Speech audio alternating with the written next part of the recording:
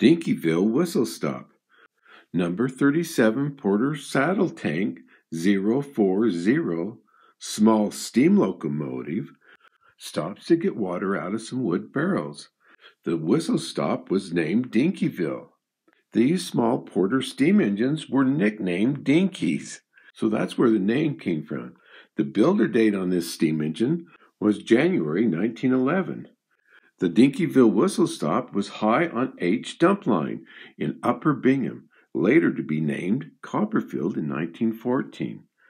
A small community will be built up on the mountainside above this whistle stop. It will also be called Dinkeyville.